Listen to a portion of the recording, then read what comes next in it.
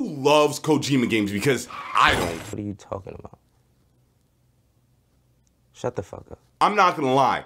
I just can't get into his games. I'm not saying they're bad, they're just not for me. But many people are. Whenever you hear about any Kojima project in the works, it automatically becomes the most anticipated game coming out. He reminds me of Christopher Nolan, but for video games. Whenever they work on something, you know it's different, that it's going to have a dope concept, and it's going to garner a lot of attention. Kojima has a crazy cult following. And if Microsoft really is in talks to publish Kojima's next game, it proves that Xbox is trying to convince some Sony fans to switch over. So with that being said, if you want to find out about all the details regarding this, then I highly suggest not clicking off this video. Before we begin though, allow me to give you a friendly reminder to just like this video. And if you end up liking it here at my channel, know that I try to give the best gaming news, rumors, and breakdowns. Other links in the description box below. Thanks, guys. According to a report from VentureBeat, the Death Stranding and Metal Gear Solid developer is in talks with Microsoft about publishing his next game. According to a source familiar with the matter, the report also suggests that the potential deal has been in the works for several weeks already stating that Xbox chief Phil Spencer deliberately featured a statue of the Kojima Productions company mascot in the background of a recent stream as a hint towards the partnership. Remember, this is the same thing he did months prior to the reveal of the Xbox Series S. Now, news like Xbox looking into Japanese studios shouldn't come completely as a surprise to you. If it does, that means where you're getting your news from, they ain't doing it right. And that means you should definitely subscribe to my channel. The reason why it shouldn't come as a surprise is because last year there have been rumors that Xbox has been looking for a Japanese studio to acquire. Although Phil Spencer did deny those rumors, things change all the time. Just look at when Xbox increased the price for gold.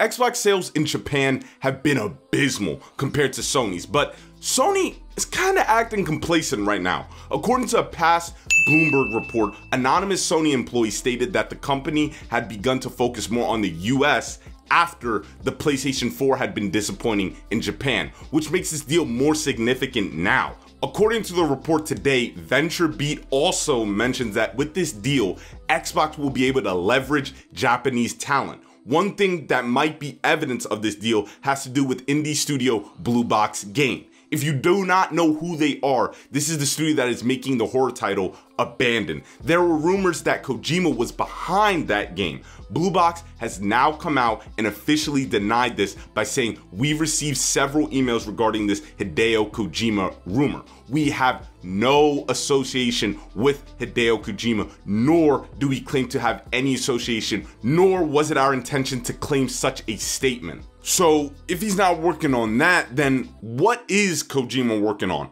Maybe it's the game for Xbox, maybe not. Just remember, these are just talks. Xbox recently has been acting like a fat kid, just trying to eat up everything they can. First, it was the Bethesda deal. Next, it's possibly Discord. And now this Kojima deal. There's no denying that this potential exclusivity offered by a publishing deal with Kojima would be a significant boost for Xbox. This is the same company that has not given fans a new big name exclusive in years. And you know what this deal would do to some PlayStation fans? Like I said, those Kojima groupies will support him even if that means they have to switch over. In conclusion, just like with any Xbox deal nowadays, this will be huge if this Kojima partnership ends up being true. I would really like to see how Sony will retaliate, but this is great for us, the consumers. So in the comment section,